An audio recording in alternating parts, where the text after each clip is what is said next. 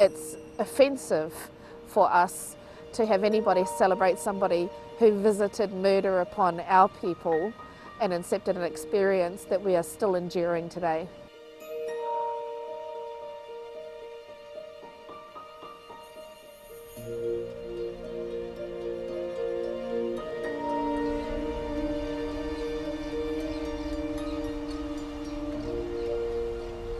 It's a commemoration or an anniversary of invasion and imperial expansion.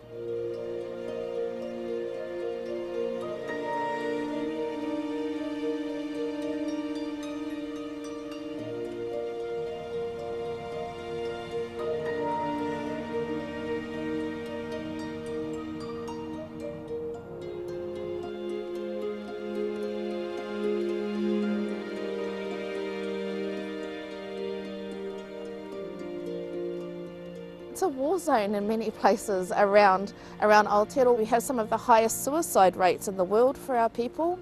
We have poor housing, our infant mortality rates are unacceptably high, our incarceration rates are higher than anywhere else in the world, but all of those challenges stem back to the fact that we have had our self-determination stripped from us through a process of colonisation. And then we see dollars being rolled out for the celebration of the causes of all of those issues. It's deeply offensive and deeply hurtful.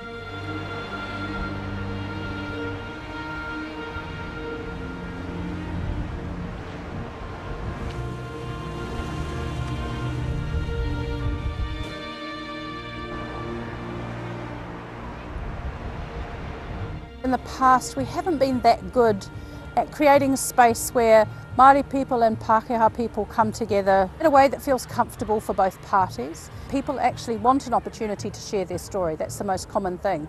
So you'll see over these days that they've been arranged to ensure that everybody feels heard and everybody feels respected.